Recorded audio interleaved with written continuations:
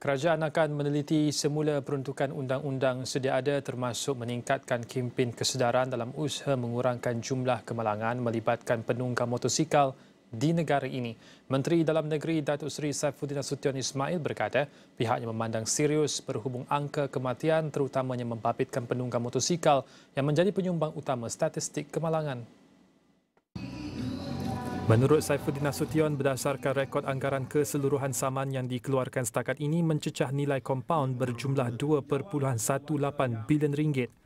Uh, maka tindakan daripada pasukan polis adalah kita tengok balik daripada perkara-perkara basic yang patut kita perhati semula dan kami bertekad untuk elemen penguasaan kami tingkatkan. Uh, kempen uh, kesedaran akan kami perhebatkan juga dan uh, ini akan menjadi uh, tajuk Uh, di peringkat kepimpinan polis uh, Tan Sri dengan pengarah-pengarah di Bukit Aman termasuk pengarah uh, Bukit Aman dan juga bahagian-bahagian lain yang berkaitan.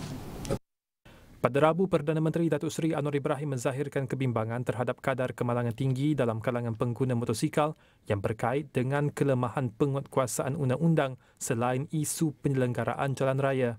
Kemalangan jalan raya paling tinggi membabitkan pengguna motosikal terutamanya berusia 18 hingga 35 tahun.